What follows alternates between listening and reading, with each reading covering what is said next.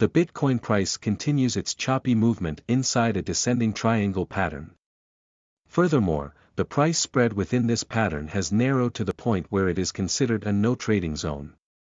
Thus, any new traders looking for an entry opportunity should wait for this triangle pattern breakout, as it will break the ongoing uncertainty in BTC that a descending triangle pattern governs the Bitcoin price action, the coin price trading below the crucial EMAs, 20, 50, 100, and 200, indicates the buyers have the upper hand. The intraday trading volume in Bitcoin is $15.5 billion, indicating a 25.2% loss. The crypto market witnessed high volatility in the past two weeks due to the macroeconomic events surrounding the interest hike program from the U.S. Federal. As a result, the Bitcoin price is moving sideways, and the short body candle in the daily chart reflects uncertainty among market participants. However, amid the volatile phase, the coin price remained in a descending triangle. Thus, Bitcoin traders actively reacting to this pattern could offer us some insight into the future price movement.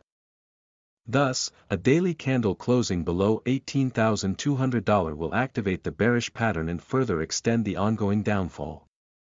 This development will tumble the prices another 15% to hit 16,500 to $16,000 support, technical indicator, Bollinger Band, the indicator band gradually narrowing closer accentuates the sluggish price action for Bitcoin, Relative Strength Index. The daily RSI chart maintains a bullish divergence despite price consolidation indicating buyers are aggressive at the $18,500 support.